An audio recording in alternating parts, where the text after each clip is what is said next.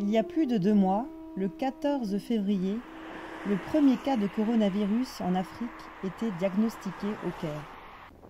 Cela paraissait lointain encore. Les préoccupations étaient tout autres. En neuf semaines, l'Égypte a pris la mesure de la pandémie. Certains visages se sont masqués. C'est un nouveau coup dur pour l'Égypte, alors que le pays sortait à peine de convalescence après des années de troubles politiques. Pourtant ici, à l'instar de nombreux pays d'Afrique, le nombre de cas officiels de Covid-19 peine à décoller. Les courbes exponentielles de France et d'Italie ne sont pas tracées en Égypte. Au pays des pharaons, le corona fait profil bas. Ou bien serait-ce le gouvernement qui ne dirait pas tout? Comparé au reste du monde, les mesures officielles de lutte contre le virus sont restées timides. La liberté de circuler est maintenue, mis à part le couvre-feu de 21h à 6h. Pas de confinement ici. Mais les écoles, les lieux culturels comme l'Opéra d'Alexandrie sont fermés. Les lieux de culte et les cafés ont également porte close. Il est loin le temps où le souffle des fumeurs de chicha réveillait les gens au sommeil léger. Un coup dur pour les Égyptiens qui vivent la nuit dans les cafés à jouer au domino en buvant du chai.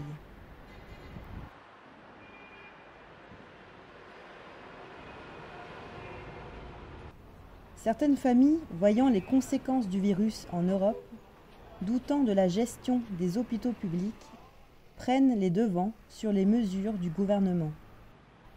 Elles préfèrent s'auto-confiner. Ces femmes et enfants n'ont pas mis le nez dehors depuis plus d'un mois. Seul le mari va encore au travail.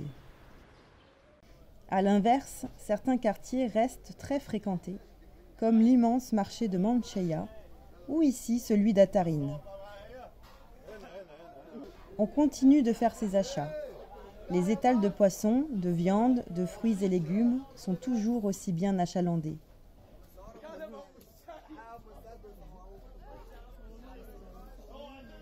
On sent une effervescence spéciale même. Le ramadan est là. Coûte que coûte, la vie continue. Les gens ne semblent pas se soucier de l'épidémie mondiale. La fête est là, alors que le virus reste invisible. Certains, refusant l'inéluctable, sont installés sur leurs chaises juste devant les cafés aux portes closes. Pour le ramadan, les rues sont décorées de guirlandes légères et de lanternes qui flottent dans l'air.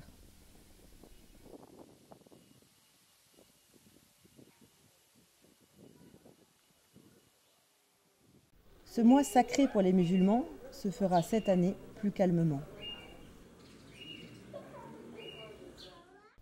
Dans le modeste mais coloré quartier de Komeldika, le vendeur d'épices et le boulanger continuent leur besogne quotidienne. Ici, pas de chômage partiel ou d'aide sociale. Les travailleurs journaliers ont toujours été livrés à eux-mêmes.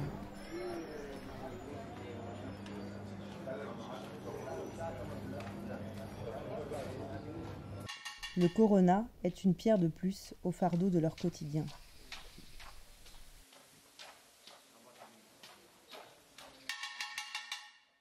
Heureusement, la fameuse corniche d'Alexandrie est encore ouverte au public. Les jeunes se retrouvent loin du regard des parents. La vue est belle, les embruns de la mer donnent de l'énergie. On en a besoin dans cette ville de 5 millions d'habitants où l'air est pollué. Face à la mer, loin du vacarme de la ville, les pensées peuvent enfin se libérer.